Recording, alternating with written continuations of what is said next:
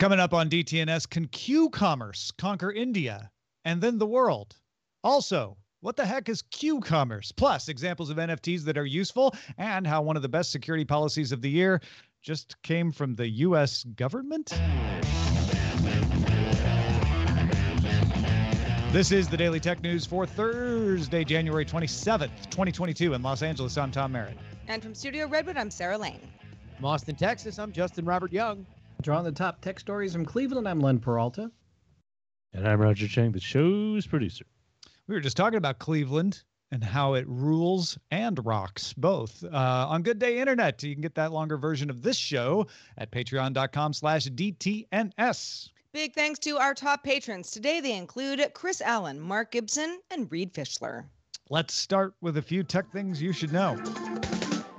Meta's Messenger, formerly Facebook Messenger, started rolling out end to end encryption options to users back in 2016, and it's now available to all Messenger users. You can toggle it on for any message or group chat or call, although it isn't on by default. You have to turn it on yourself. For new conversations, you can toggle on secret conversations. That shows up as a little lock icon, so you know that it's secret. Or in an ongoing conversation, you can use vanish mode by swiping up on an existing chat, which will cause messages to disappear when the window is closed as well. You can also now use GIFs, stickers, reactions, and verified badges in encrypted conversations. There are a lot of tech acquisitions waiting on approval out there. Warner Media and Discovery, eh, media and tech, uh, Microsoft and Activision Blizzard. Uh, some look like they may not happen. We just talked about Nvidia and ARM, uh, just might not ever close. So let's turn the tables and talk about two tech acquisitions that just got the big old thumbs up.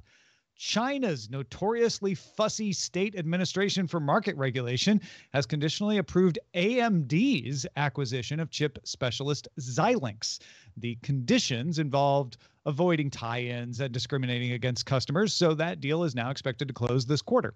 And Meta got the European Union to approve its acquisition of CRM maker Kustomer. That's customer with a K. Meta had to agree to not limit it, anybody's access to the Kustomer API for 10 years. And then Europe said, that's fine, go for it.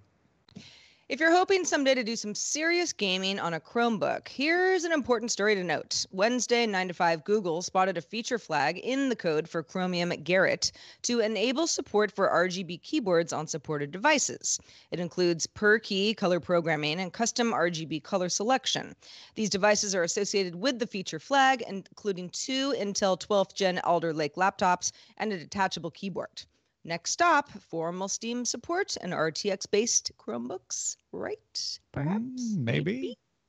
Speaking of gaming coming to places people would like it to come to if they use those things, uh, compatible 2021 LG TVs can now download the GeForce Now app from the LG Content Store. That follows a beta period that had begun last November, so now everybody gets it. The app allows access directly from the TV to NVIDIA's streaming service of games that you already own from Steam and Epic you won't need to have an NVIDIA Shield to play them if you don't have one already. But if you do have an NVIDIA Shield, got good news for you too. You can now take advantage of the 4K upscaling that the Shield does for video streams on GeForce Now games. Uh, that is also available to GeForce Now users on certain 10 series or newer NVIDIA GPUs on a PC. The Adobe led uh, Coalition for Content Provenance and Authenticity, or C2PA for short, has finalized version 1.0 of a digital content standard. The standard, when implemented, can identify when and where an image or a video was created and document changes that were made to that piece of media. Microsoft, ARM, Intel TruePic, and the BBC are all part of the coalition. All right, let's talk a little more about my local food truck that I'm always worried is going to drop their square dongle into a big pot of refried beans. Is there any hope for that, Justin? Yes, they n- might now drop their entire iPhone into a pot of refried beans if this is correct. and this is a Bloomberg sources say report that quote in the coming months small businesses will be able to use iPhones to accept payments without requiring extra hardware like those dongles or those little uh, card reader squares that connect via Bluetooth. Apple bought a contactless payment company called Mobeewave in 2019 that would make this possible. The company previously worked with Samsung on a similar project with Samsung phones able to accept payments from contactless cards and NFC payments, including Apple Pay, Samsung Pay, and Google Pay. Yes, you could tap a Samsung phone with an iPhone and pay the merchant with the Samsung phone. What a wonderful world we live in. The report does not reveal if Mobeewave's tech will be br- uh, branded as part of Apple Pay's service, though it does potentially mean we might see it show up in iOS 15.4 soon. A reminder that iOS 15.3 was just released Thursday. So we don't know whether it'll be part of Apple Pay, but we know it'll be kind of part see Apple kind of Pay, kind right? of points that way now Yeah. this would this would be okay i go up to my favorite food truck uh staying away from the refried beans i tap my phone to their phone and Yeah. that's that's it and the payment is okay because They would still need the dongle for cards for credit cards. Uh, Sure. for eh, for chip for chip payments, but For anything chip card- for- NFC for, for chip cards that don't have contactless. that don't have any contactless, right? Yeah, Yes. exactly. Um, so which, which yeah. fewer and fewer have. I mean, if it if it has a chip, many of them have contactless, although it's not exactly a universal standard.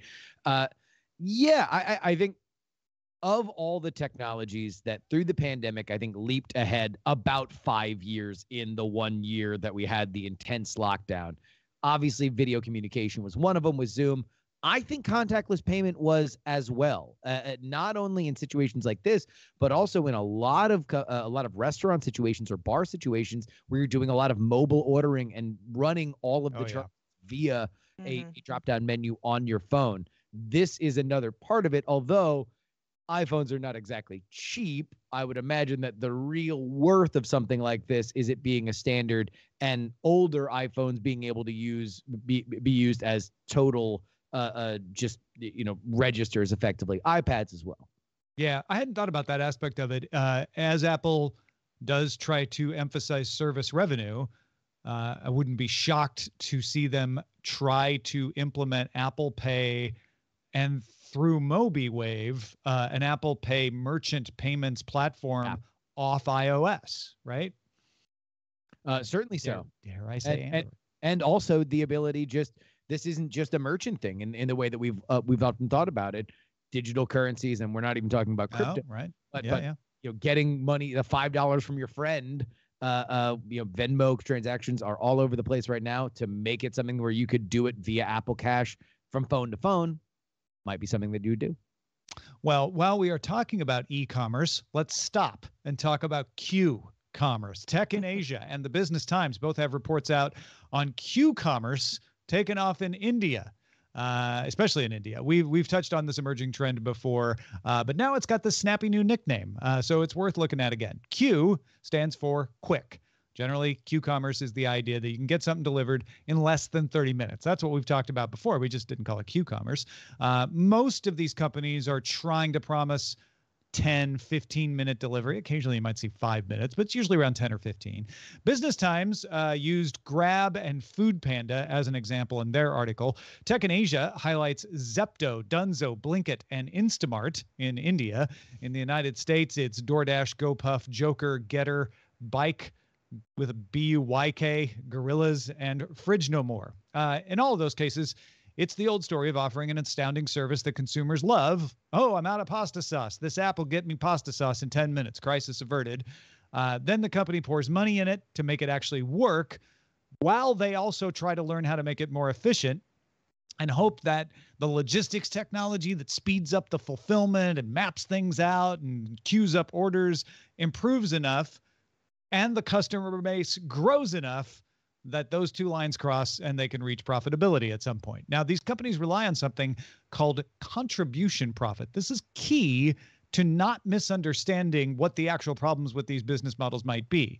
Uh, to convince investors to stay with them, they report contribution profit because contribution profit, if I'm going to oversimplify, and I am, means the amount of money you make per order when you ignore your fixed costs.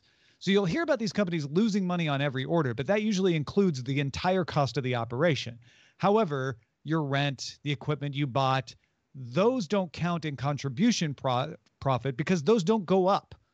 Uh, so the more customers you get, the more your rent doesn't go up. So more customers does mean you can make more money. If you have positive contribution profit, then theoretically, you just need to get enough customers to outweigh your fixed costs, and then you would become profitable.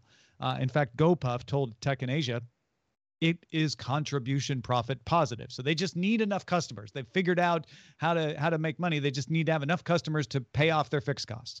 The other aspects of Q-commerce is free delivery. Uh, you can't keep that going. Not all Q-commerce companies forego the fees, but the ones that do run their own stores, dark stores, where they they stock their own items rather than having to get them from existing convenience stores or restaurants. And most analysts think that the margins are thin enough that even dark stores are eventually going to have to charge delivery fees, at which point you start driving away customers. One executive told Tech in Asia it thinks a dark store would have to make about a thousand deliveries a day per location to break even. Uh, Resisting the siren song of all of this is Flipkart. Uh, Flipkart's CEO told the Economic Times he thought 30 to 45 minute deliveries were a more sustainable model. And with the Q commerce craze, he sounds really slow 30 to 45. What are you, dominoes in the 80s? Come on. Uh, give, I mean, I don't know. Faster. It, it depends on where you live, of course. And these sorts of models are just going to scale in urban areas way better than uh, in, in. Very good point. Yeah. Absolutely. For example, somewhere that I live, it's like I can't drive anywhere in 10 minutes. How would I expect them to get it to me in 10 minutes? It's right. just not going to happen. Or you know, there are very few things that I really want that are are are that are that close by. So you kind of have to take that into consideration.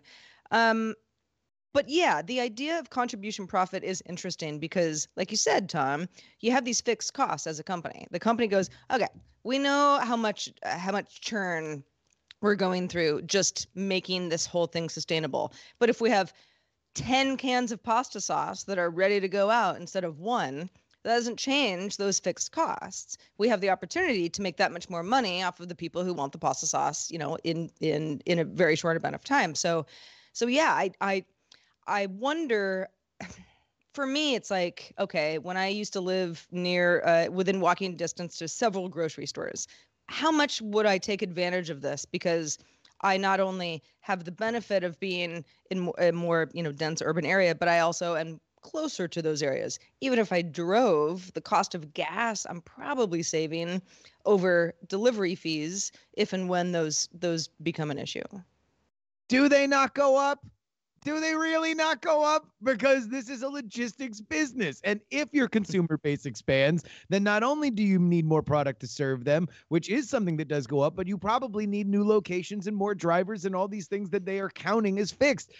At the end of the day, and I'm glad you brought up India where this is growing, because in the grand tradition of South Asia, this Q commerce craze is the graveyard of empires for venture capital. It has always been an insustainable holy grail for these companies. For whatever reason, they always try to reinvent it. And they think that now that we are further along with mobile data, it'll work better. Now that we pay for more things on our phones, it'll work better. Now that we're used to delivery, it'll work better. If Amazon could not make it fully work in the, in with, with Prime now, which mm-hmm. is they still exist on some level, but hasn't expanded like you would expect, then nobody's going to do it because nobody is better at logistics than Amazon. None of these companies. Yeah, and, and getting back to that contribution profit point, uh, your fixed cost doesn't go up per dark store, right? Certainly, pasta, the the number of cans of pasta sauce is a variable cost, so that one counts, right? But the but the the store rent wouldn't count, right? But sure you have to increase the customers for that store. If you increase customers by opening up another store, well, you just added to your fixed costs. So exactly. that's you know that that may sound like oh well you know but you just need more customers it's like yeah but that's a hard thing a thousand people from one store and to deliver in 10 to 15 minutes means you have a compressed area to serve in so it has to be dense like sarah was saying Otherwise, you won't have a thousand people within five minutes of the of the dark store location.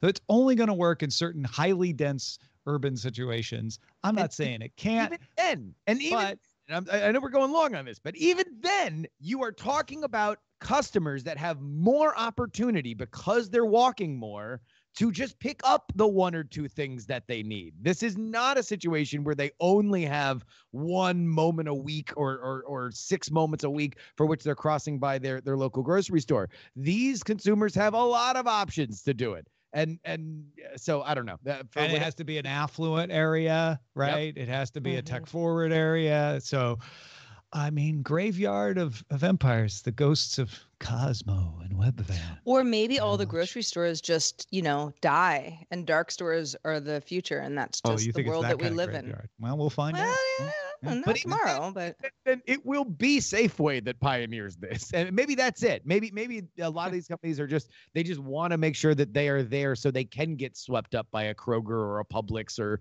uh, you know any of these other major chains. That's a lot of a lot of them just have an exit plan. You're not wrong there. Yeah, that's they they sell the logistics learnings that they had in the end. That could be the exit for a lot of them.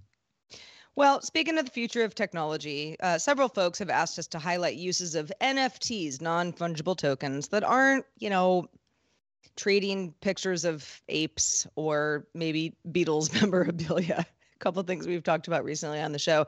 Not that those aren't important, but we found a few examples of where NFTs might be going, and we can kick those around today to kind of uh, All you know, just the idea of you know of expansion. What what can NFTs really be used for that could be helpful to you? Well, this one, uh, Lamborghini partnering with Sotheby's and NFT Pro to auction off five pieces of digital art might be on your wheelhouse. It might not. You kind of got to be a Lamborghini person. But let's say you are. Each NFT has a physical companion space key that includes carbon fiber that has been to the International Space Station and back. Each space key has a QR code linked to the digital art associated with the NFT that was made by Swiss artist Fabian Oefner. Okay, so that's got a physical thing. It's not just digital. I get it. So there's Yeah. some, there's something you can you can hold in your hand with that one. Yeah, it's definitely if, if, if, if this is if, if if this is something you like Lamborghinis, you like space, you might really like this. It's something that uh, it's a little bit of bragging rights, I would say. Well, so Uh, se- the, the NFT here is effectively a digital version of the piece of paper you would get that that yeah, lists- the certificate, right? Exactly. Yes. Uh, second uh, example of something kind of interesting Warner Music Group is opening a location in the virtual world. You could call it the metaverse, called the Sandbox, where it will host what it calls a combination of musical theme park and concert venue. It'll also sell nearby plots of real estate to fans starting in March. The Sandbox uses NFTs to handle sales of that digital property so players can not only own their own space, be like, this is my part of the grass, this is where I hang out, but also monetize, in game resources in this particular metaverse. So in the sandbox, I could own a location so I can log in really close to Marshmello playing in Fortnite. Totally. This is Warner this is like in sandbox. I feel like this is me buying, you know, the the like cool VIP pass at Coachella, you know, where you Yeah, get to you have a certain area where nobody else can go because you've you've sort of paid a premium. This is your this is your area, your plot of land. And if you're into that kind of uh, musical experience or just live experience in general, which uh, which many other platforms have experimented with with varying degrees of success, but sometimes very successful, could be cool. Yeah, I, I would think of it like uh, local theaters will sell you like the entire slate that they are like uh, that they are going to put on, be they dramatic performances or musical performances or anything like that. So it's like that, but for digital only things you are getting yeah. for, for every event. Yeah, like that's a an good comparison. And, yeah, all right. The third uh, uh, uh, option here uh, in, in the new NFT world, this actually might might might have some legs, especially if you're in the market for a new home. TechCrunch reports on a startup called Propy, P R O P Y, that used an NFT in connection with the sale of an apartment in Ukraine successfully and is now bringing that platform to the US. Limited at first, but definitely coming to the US. The idea is to put the legal paperwork on the blockchain, reducing the cost and simplifying the purchasing process for everybody. Brokers, agents, title companies, buyers, and sellers could all benefit from an automated paperless closing such as this, although Propy is is marketed towards owners and brokers for now. This is using the smart contacts aspect of blockchains. US states, Vermont, and Arizona recently passed legislation affirming they are legally admissible. This is not an illegal thing happening. This can this can be done. So Propy will start by auctioning two properties in Florida uh, on February 8th. So just two for now, but we'll see how it goes. It works as such. The record of the purchases goes onto the blockchain, provides access to the legal documents that prove ownership, you know, because it's in the blockchain, and buyers save a little bit this way. Also makes the purchasing process uh, process quicker. Which, uh, if you ever bought a home, which I have not, but I know people who have, it is not a quick process. Now, if the buyer successful gets the house, let's say, they get a Florida based investment property owning a US based entity that owns the property, the ownership rights of which are associated with an NFT. It's not a fractional ownership. This is not some like, oh, I don't really own it. I only own a digital version of this. It becomes a DeFi asset that can be borrowed against like any other property. Uh, so it's a little end around. The the the company owns the property, and so you're buying the company, and therefore because you own the company, you own the property. But in the end, you don't have to have this huge pile of documents that you have to have normally when you buy a property. That I like it. That's pretty cool.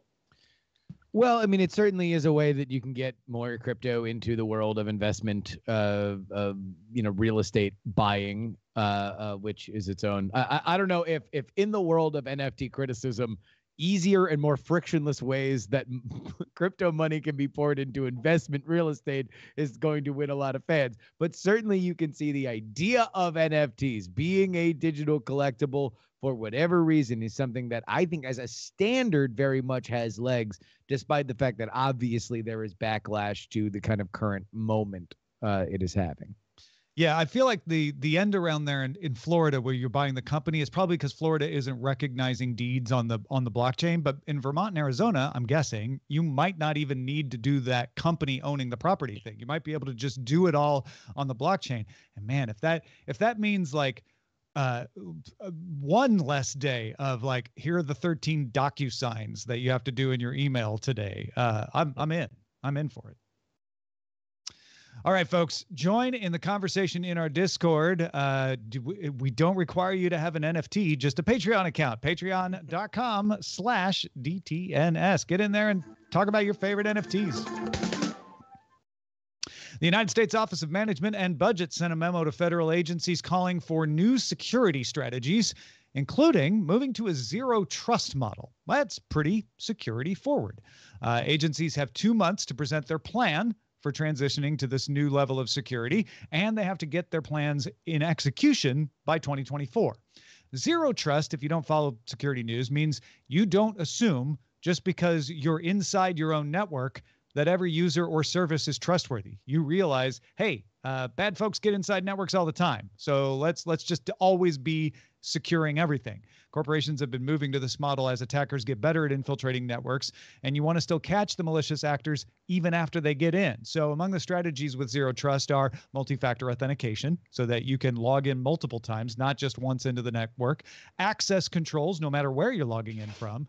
Uh, VPN not being considered enough, not relying on VPN for security.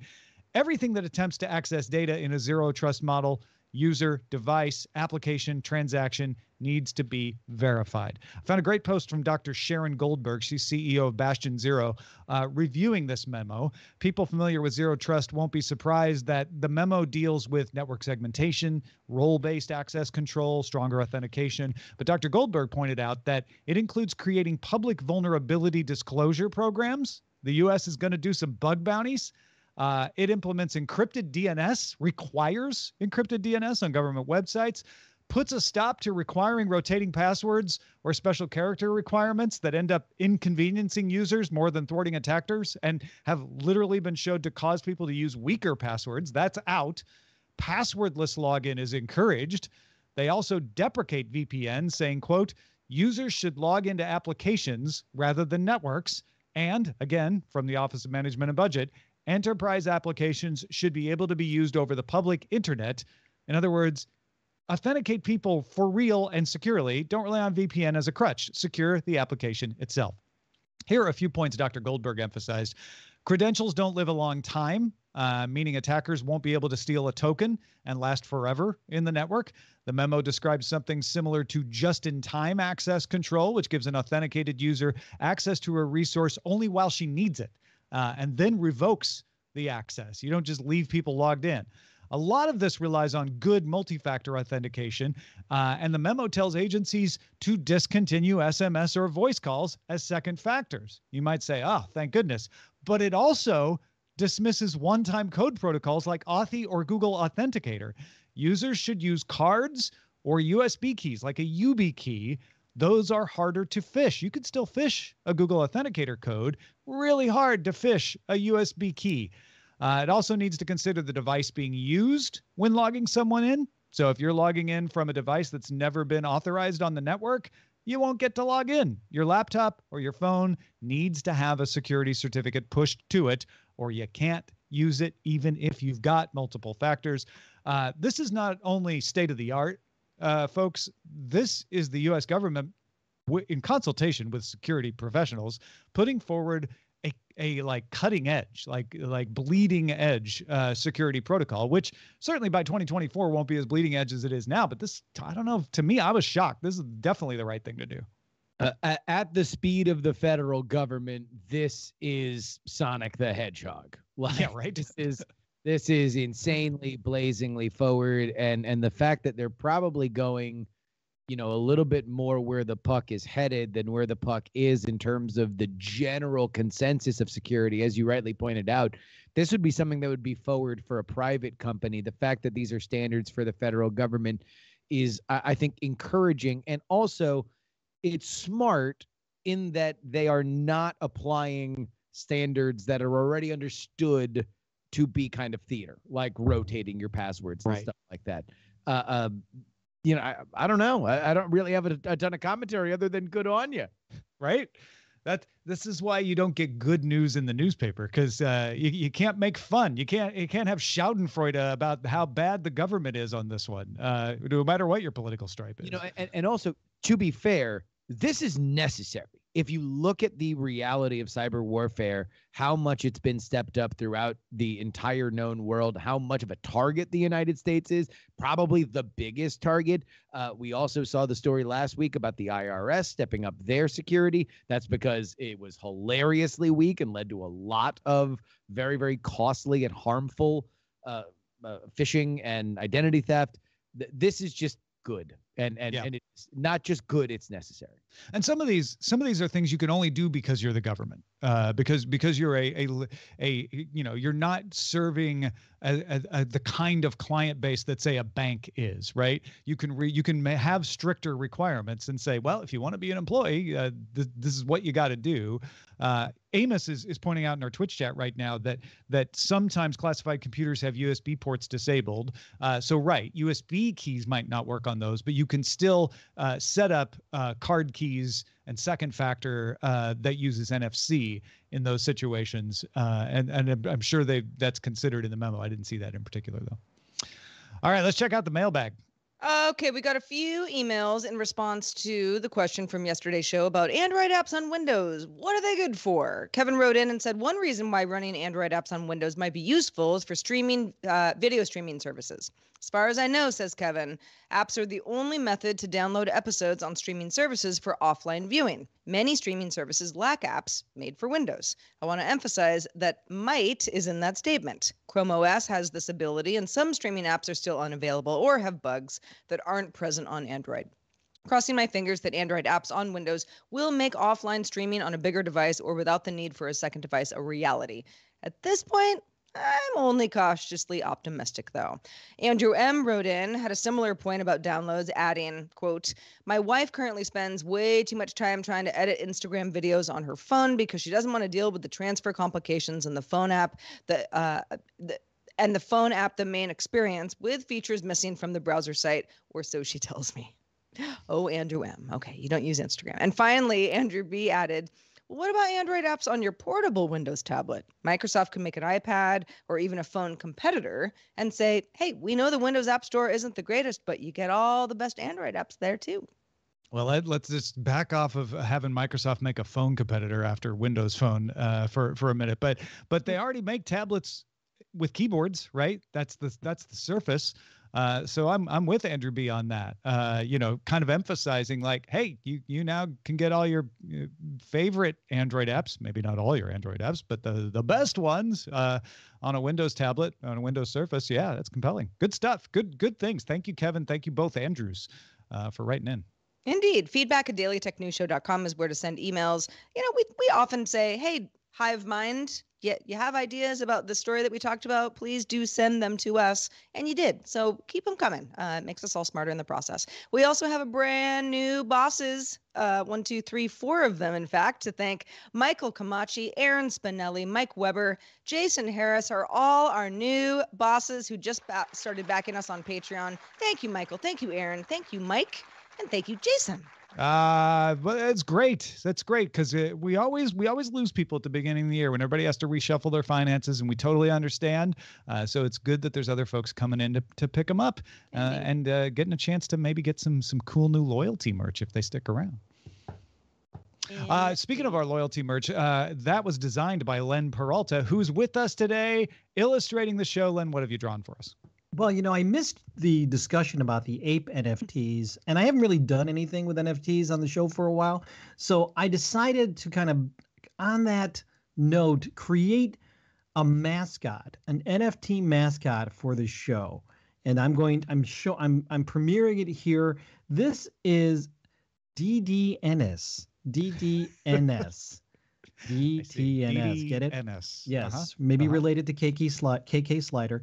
Uh, Mhm. This is the uh, tech savvy Wheaten Terrier. They have apes. we have Wheaten Terriers. And uh, this is the official mascot, the official NFT mascot of DTNS. It's DDNS. The other cool thing is the only place you can get this NFT is at OpenSea and I and I just uh, I I put a link in the Twitch chat if you're interested in taking a look look for it. Uh, it's DT DDNS, the tech savvy Wheaten Terrier is up there for uh, uh, 0.25 Ethereum. So check it out, check it out, and uh, you know maybe we can create a bunch of DTNS Yeah. Diff, diff, with different attributes. Uh, possibly. That's I mean, Excited is tech savvy ha- terrier holding a, a smartphone that says that Ethereum has dropped to twenty nine dollars yes, thirty it's six cents? 29.36 If so, right. I am poorer than ever. yes, I've I've lost lots on, uh, on that. So so check it out. Uh, good stuff, Len. Uh, also, thanks to Justin Robert Young for being with us today. Justin, anything new to tell the folks out out at home? Oh boy, every once in a while the news it just falls from the sky like so much rain. Uh, a new Supreme Court justice is on the way. If you want to know the entire roadmap of what's going to happen, when it's going to happen, and a few guesses and predictions, including answers to all your wild questions and theories, like whether or not Kamala Harris, the sitting vice president, will be on the bench, answered and explained on the upcoming episode of Politics, Politics, Politics that comes out tomorrow. Well, thanks for being with us, Len and Justin. We are live Monday through Friday at 4:30 p.m. Eastern. That's 21:30 UTC. We'd love to have you join us live if you can. Find out more at dailytechnewsshow.com/live, and we'll be back tomorrow doing it all again with Rob DeMillo. Talk to you soon.